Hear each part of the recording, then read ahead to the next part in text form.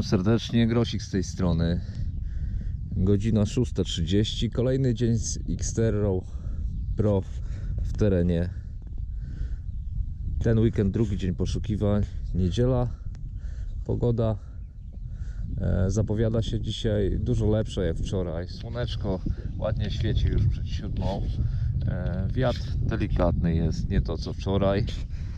E, Mam nadzieję, że troszeczkę uda się pokopać tych fantów. A więc odpalamy Xterkę. Jest na domyślnie zapamiętanym programie wczorajszym. Pole 1, częstotliwość 15 kHz. Zaczynamy od czułości. Czułość 25. Dobrze. Dostrajamy wykrywacz.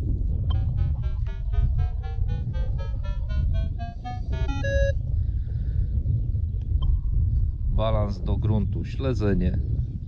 Tutaj jest ten znaczek głośności 25, sygnał wiodący 7, e, ilość tonów dźwiękowych 5, bez zmian, dyskryminacja na 0 i prędkość przemiatania e, 3. Ustawienie identyczne jak wczoraj i szukamy dalej.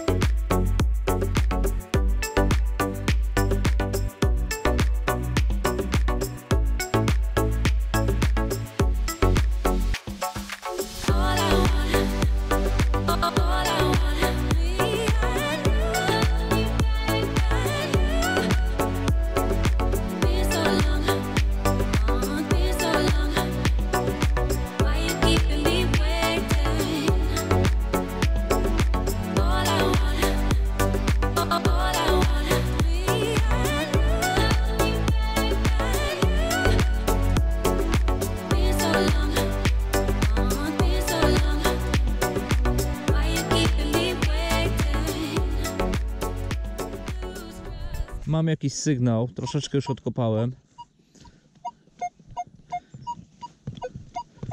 Taki dosyć wysoki, 89 na skali.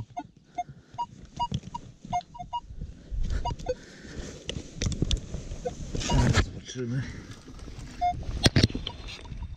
No jeszcze. Nadal jest w ziemi.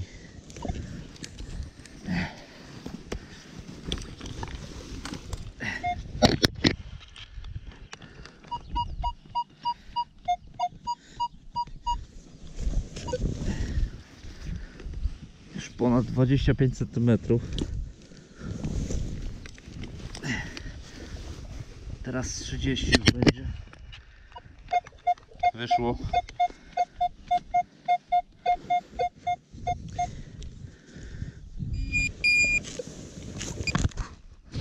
Spróbujemy.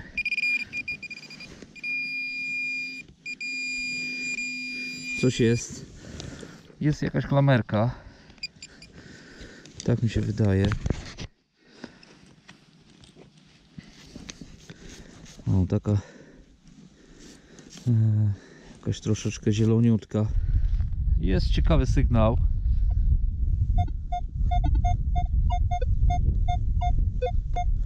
Zasięg wchodzi z około 30 centymetrów.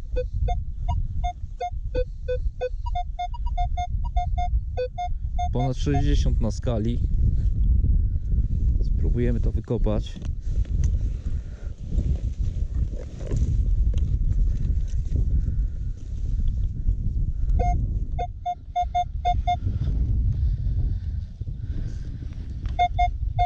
Coś widać. O tutaj. Co to jest?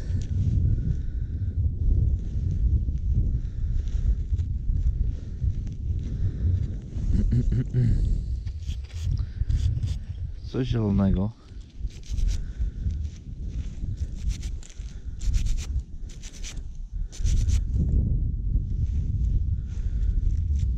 ciekawe.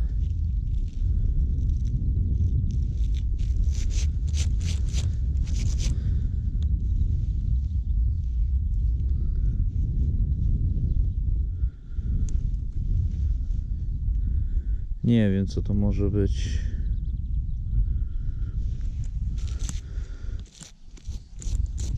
Może element z jakiejś łuski, z jakiejś dubeltówki. Kolejny raz pokazuję.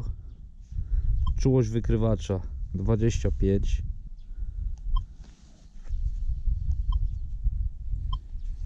I wykrywacz, jak widzicie, w ogóle się nie wzbudza.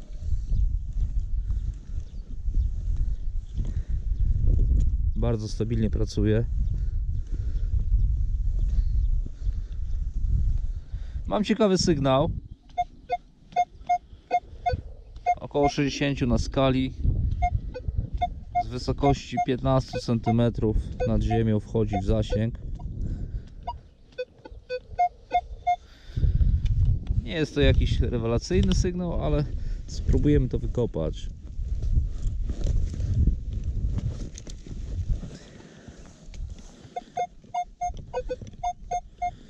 Nadal jest w ziemi.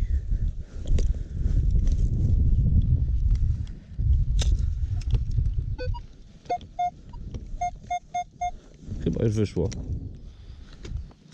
Tak mi się wydaje.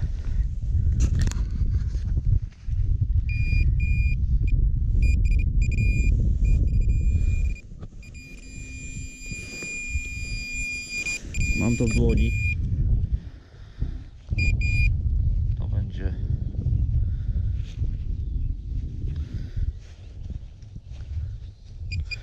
ten obiekt. Ciekawe co to jest.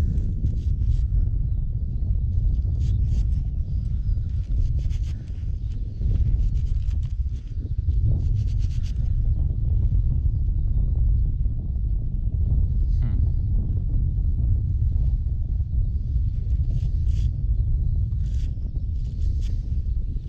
Coś ciekawego. Patrzcie. Tutaj jakby coś jakby coś było. Hmm.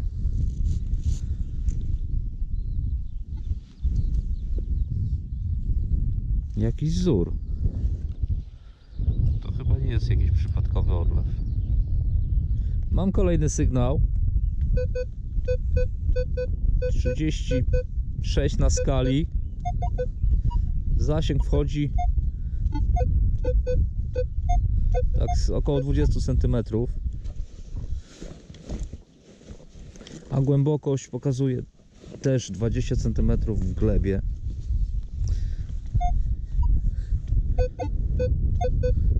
Chyba już udało mi się wykopać. Odsewka ta precyzyjna jest. To i dobrze. Łatwo będzie namierzać obiekty.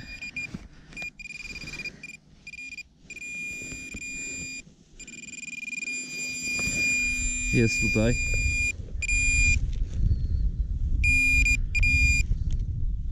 O, czubeczek. Ktoś tu strzelał. Proszę bardzo. I jest kolejny ciekawy sygnał. Z wysokości 25 cm wchodzi w zasięg. Na skali ponad 40 i ładnie dzwoni.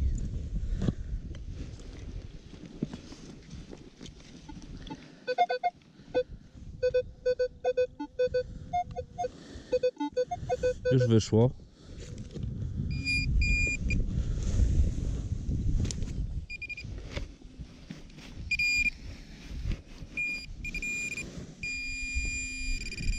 Jest gdzieś tutaj.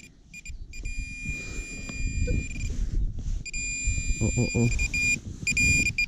Jest jakiś guziczek. Jest jakiś guziczek, ale. Ale. Chyba wiem co to jest za guzik, ale chyba nie jest kompletny. Mam kolejny sygnał.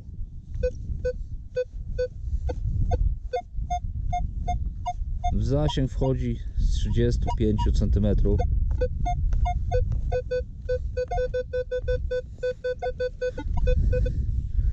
Zobaczymy co to co to będzie. Nie jest zbyt głęboko. Już wyszło. Odkładam wykrywacz. Krecika włączamy. O i jest jest jakiś jakiś guzik. Momencik. Powolutku. Jest jakiś guzik. Hmm. Ale to nic nadzwyczajnego. Taki raczej raczej cywilny. Na to bym stawiał. Kolejny sygnał. Tym razem bardzo taki niski. Na skali do dwóch schodzi nawet. Zasięg wchodzi z jakichś 20 cm nad ziemią. Spróbujemy to wykopać.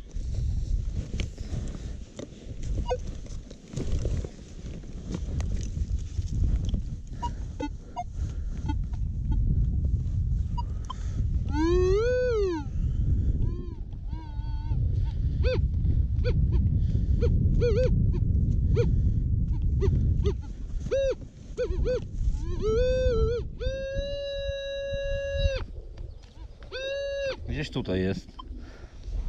Tak działa pinpointer w tym wykrywaczu. Przydatna rzecz.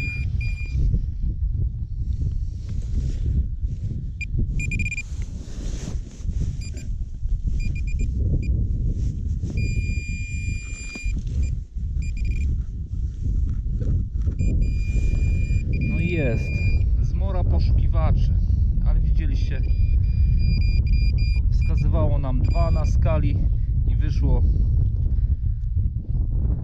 złotko takie z papierosów czy z czegoś no niestety takie rzeczy też się kopie mam kolejny ciekawy sygnał zasięg wchodzi z jakichś 25 cm na skali około 80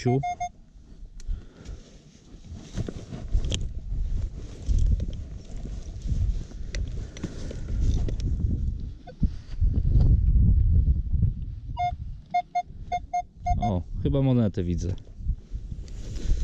O, tylko podniosę kamerkę i patrzcie. Jest monetka. Ciekawe co za monetka. O, chyba chyba jakaś kopieczka będzie kolejna podczas tego weekendu, tak. Ale stan jej nie jest za super. Mam kolejny sygnał. Skali około 50. W zasięg wchodzi tak z 15 cm.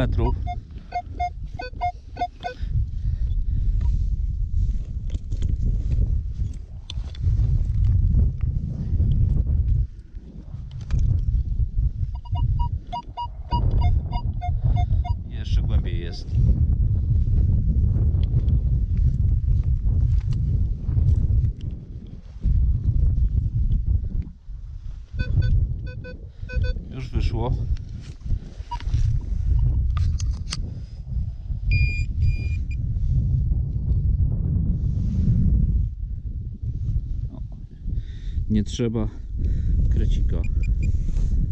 Kawałek łuseczki karabinowej z głębokości 15 cm. Mam kolejny sygnał. W zasięg wchodzi z 30 cm.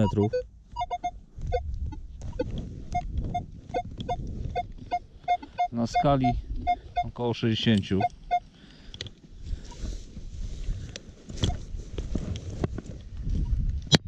o coś ciężko.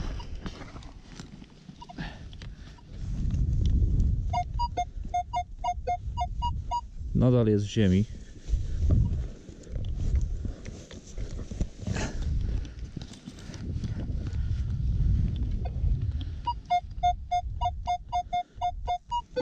Jeszcze głębiej.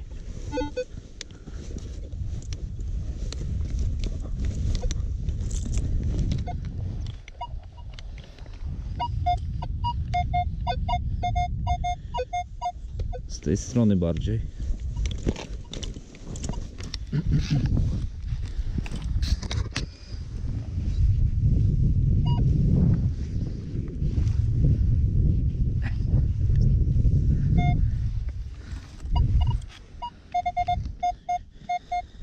Już wyszło.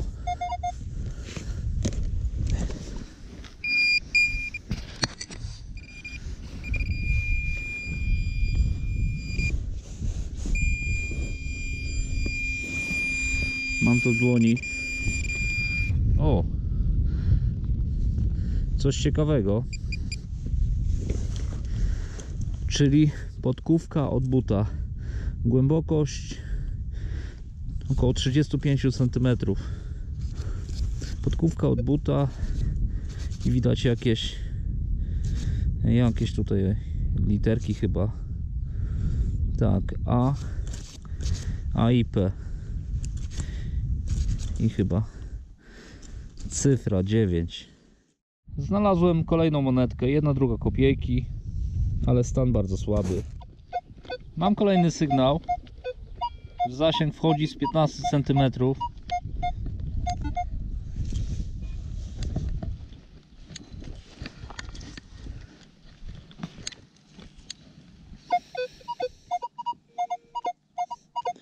Wyszło już.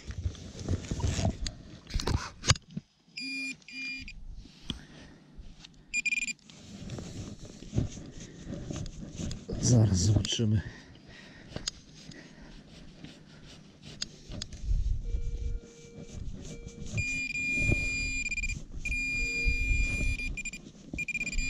Jest. Jest monetka. Chyba kopiejka będzie jakaś. Z głębokości 15 cm.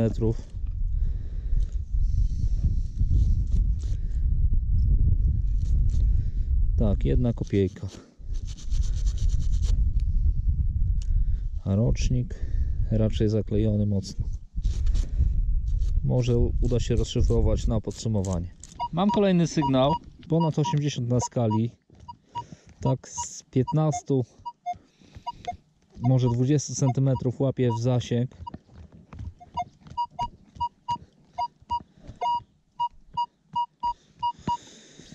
Prawie 90 nawet na skali. Zobaczymy co to będzie i na jakiej głębokości. Nadal jest w ziemi.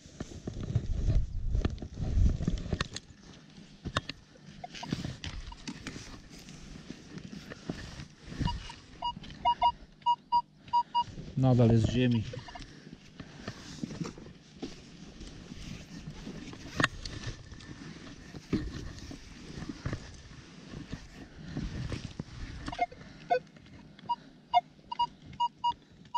wyszło z głębokości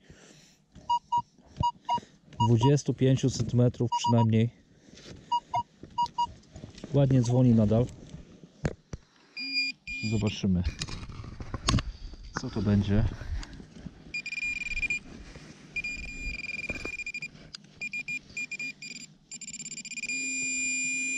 Jest tutaj. Chyba jakaś moneta. A może nie. Zaraz zobaczymy, tak czy tak jakiś krążek. Trochę tutaj widzę jakieś rdzy na tym krążku. Dziwne, żeby na monecie było coś takiego. Znalazłem kolejną monetkę na około 20 centymetrach. Jak widzicie, tutaj sobie bróce ziemi jest i leży i czeka na mnie. Wygląda na pierwszy rzut oka na kopiejkę jakąś. I jest kopiejką. Jedną. Rocznik zaklejony.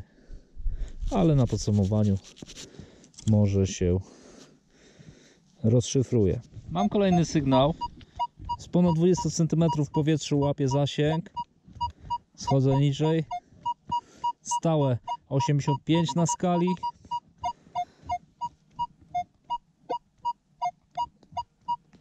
Tu wysoko też trzyma sygnał. Dobra, spróbujemy wykopać ten obiekt.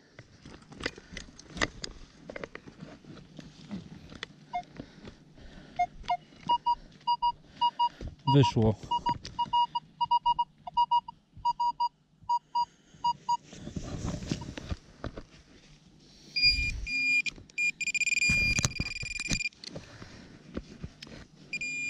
Jest moneta.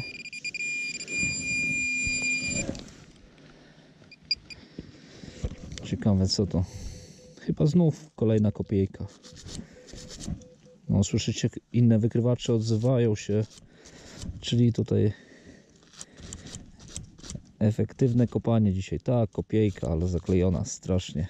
Dzisiejszy wypad w teren z Xterką y, uważam za zakończony. Jestem już w domu. To są śmieci złom z tego wypadu. W większości kolorki.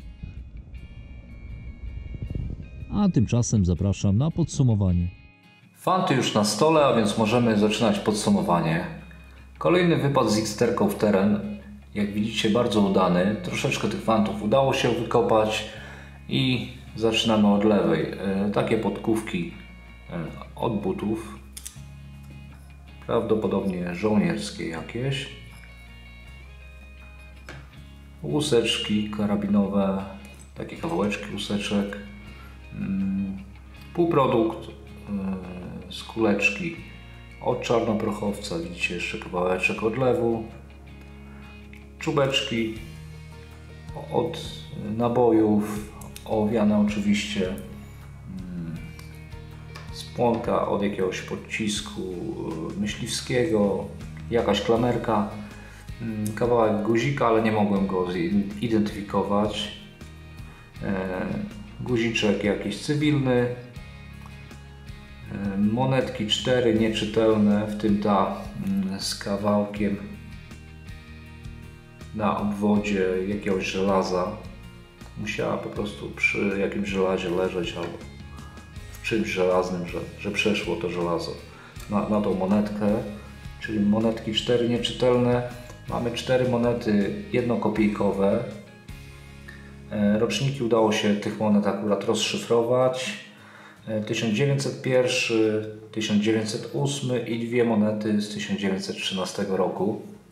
I na sam koniec fakt dnia, czyli ten oto przedmiot. Proszę bardzo. E, Jak widzicie, z jednej strony jest jakby takim zwykłym odlewem,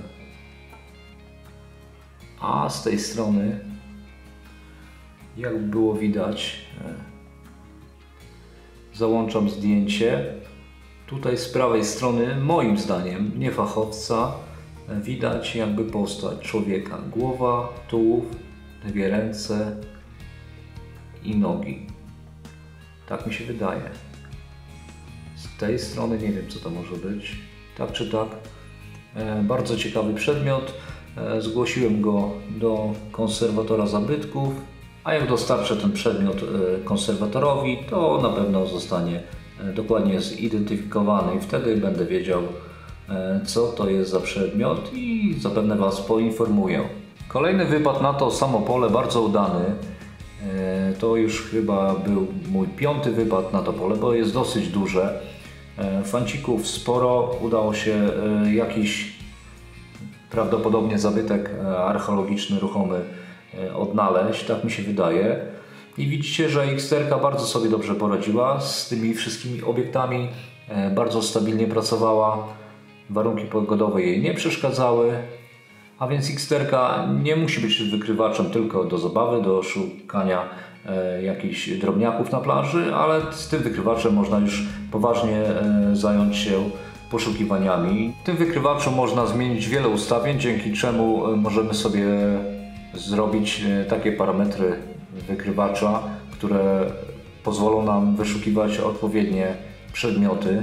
a dzięki temu, wiadomo, nasze poszukiwania będą bardziej efektywne. Do pracy wykrywacza nie mam żadnych zastrzeżeń, e, a w terenie bardzo mi się fajnie pracowało z tym wykrywaczem i na kolejne wypady również będę zabierał X-terkę. I tyle na dzisiaj. Pozdrawiam wszystkich. Mówił Grosik do Was. Cześć!